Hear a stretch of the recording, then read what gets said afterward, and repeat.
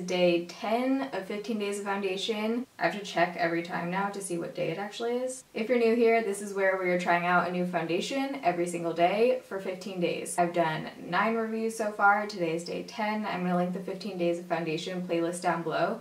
That's where you can go through and watch all of them and I would recommend starting from day one because I explain a lot about the series in day one. I am going to be rating these 1 to 15 at the end of the series so you can see my overall thoughts, what I thought of each foundation, and how I ranked them all. Today we're doing a drugstore foundation. This is the Ulta Color Correcting Foundation and Primer Stick. I haven't seen any reviews on this before. I randomly picked this up at Ulta probably like six months ago. So I have the shade Fair Porcelain, which is the lightest shade. There are only eight shades in this foundation, which obviously is not the best. Shade swatch times. So here's the Ulta Stick Foundation. One over is the Golden Rose Stick Foundation. This is Tarte Rainforest of the Sea, and all these are in the lightest shade, by the way. This is Lancome Teint Idole Ultra. This is Maybelline Fit Me Matte and Poreless 110, and this is MAC NW10. This retails for $12.50. Right now, Ulta products are buy one, get one free online. Not sure about in-store, but right now it's buy one, get one free online. Whenever I order on Ulta, or anywhere really. I always use Ebates. This isn't sponsored by Ebates. I just love them. And they always have the 350 coupon on Ebates. So you can probably get buy one, get one free and then get an additional 350 off. But anyways, just try to save you some money. Okay, let's read some of the claims on here. It says it's a weightless gel-based foundation stick with built-in color correcting core. So it does have this like green center, which I'll show you up close when we do the demo. It says delicately textured formula blends easily for natural buildable coverage that helps to even out skin tone. The green center is supposed to neutralize the redness. Outer portion is supposed to smooth and perfect skin. So that's all it pretty much says. It got really good reviews on Ulta. Looks like it has four and a half stars and there's almost 500 reviews.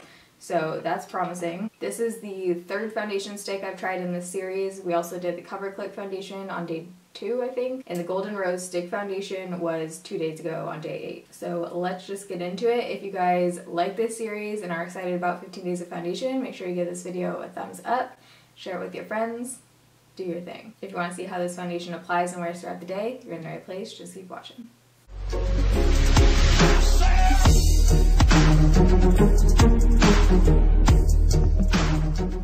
Okay, let us clip back the hairs. Today is one of those days where I feel like I just need coffee and an IV drip right now.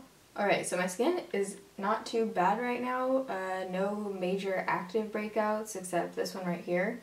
This is all mostly scarring. So I do have cystic acne with combination skin, so I usually get oily a little bit on my T-zone. I have the Real Techniques makeup sponge right here and a brush. This is the e.l.f. brush never remember the name because they don't print it on here, but I'll link both of them down below. This is one of my favorite brushes to apply stick and cream products. So we're going to try it with this foundation. And I haven't used this at all yet. I think I've swatched it one time a long time ago when I first got it. I've had this for forever. If you guys followed me on Instagram, I think I mentioned like probably over six months ago, asked you guys if you want to see a review on this. We are now doing it. So as you can see, it has this green center, which is supposed to be for color correcting some of the redness, and then the foundation product is surrounding it. I have on my light over there today. I don't know, I feel like it makes it look a little bit more warm. It says to use a sponge or your fingertips to blend this out. I usually like to use my fingers to blend out product on my face, so I'm just going to use the brush and the sponge. So let's go on, oh, gliding on really easily. I can definitely see like some of the green coming through. So let's use a brush on this side of my face. There's the tapping again. What the heck?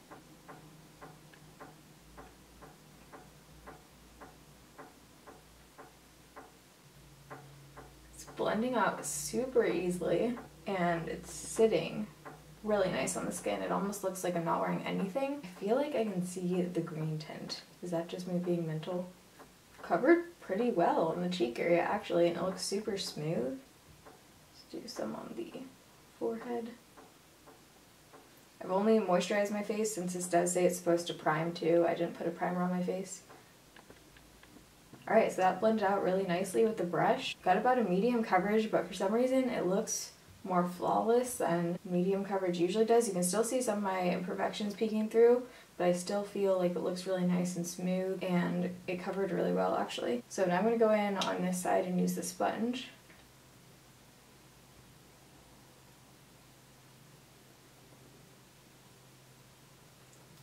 Do you see how quick that just blended out? Okay, so that took all of about five seconds to blend out on my cheek. Alright, so just with one layer, so far I like it sitting really well on my skin. It kind of just like melted into my skin. Looks like a dewy finish, but it is already starting to set. I probably blend bronzer over this right now. Really like how it just effortlessly blended out. I don't even really feel like I need more coverage right now. I might just try and dab a tiny bit on areas that I need a little bit more concealing and see if we can build it up. And as far as sponge versus brush, I think they both applied totally fine and got the same kind of coverage. So build's fine. I don't feel like I got a ton more coverage out of that, but it definitely doesn't look cakey or anything when you try and build it. So let's show you guys a close-up. Just feel like it looks really nice and smooth. It's covering everything, but it still doesn't look like a mask on my face. I really like how it's sitting on my forehead. It's not clinging on to anything. I'm not sure if I'm going to set my face today. I really like the finish of it right now. I might put a tiny bit of powder just in my T-zone. So I'm going to apply the rest of my makeup and I'll be right back. Okay, so it's now 8.20 in the morning. The rest of my makeup is on. And powder products did blend a little bit funky on top of this. Even like a setting powder, which I ended up having to use. So I tried to go in with just bronzer on my whole face, cheekbones, and forehead, and it was looking really funky on my forehead.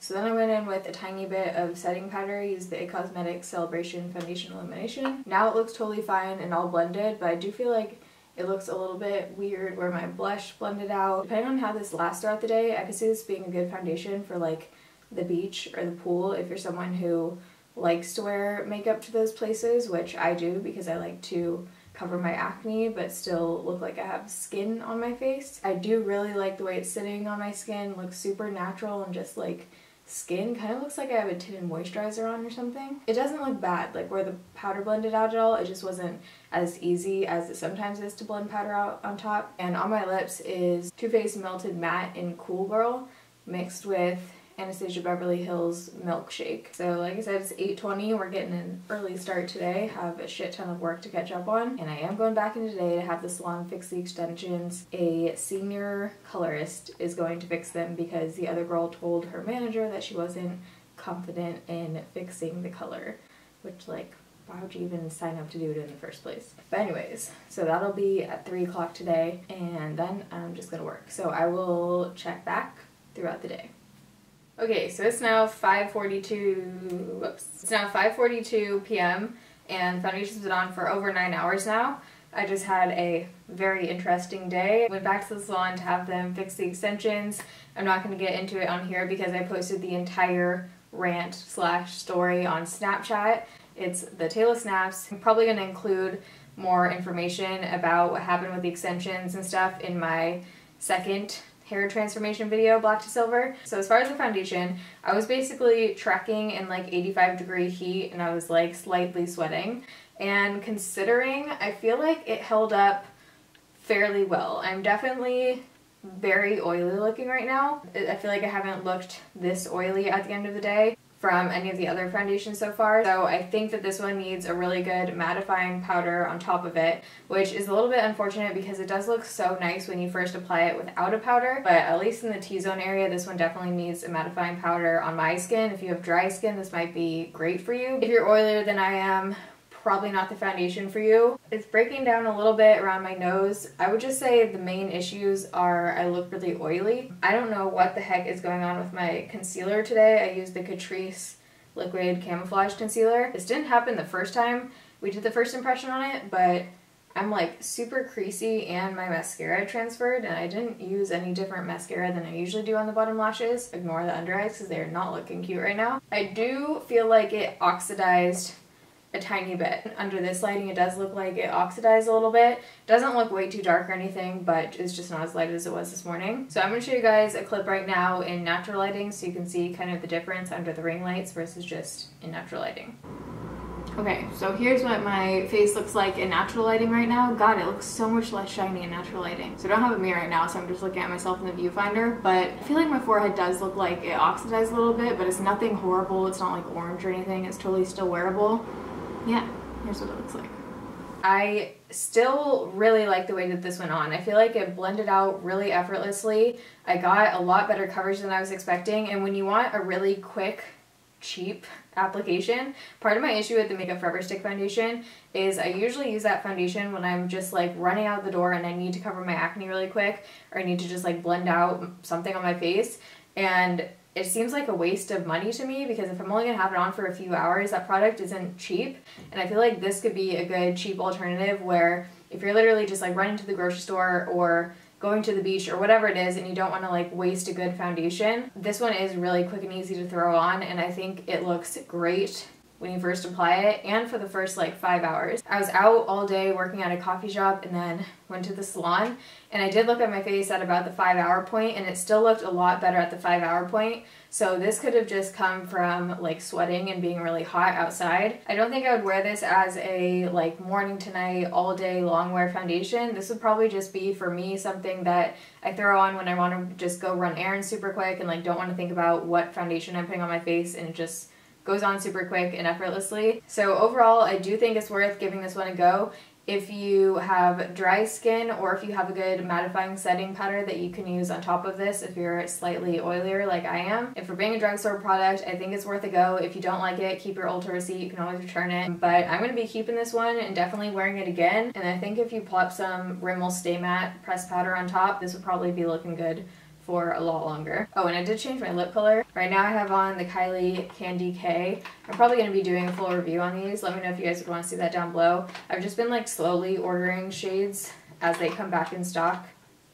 Let me know if you want a full review. So if you guys like this video and you're excited about 15 Days of Foundation, make sure you give this a thumbs up. You can always leave your comments down below for what foundations you want to see next. Love you guys. Thanks for watching. See you in my next video. Bye.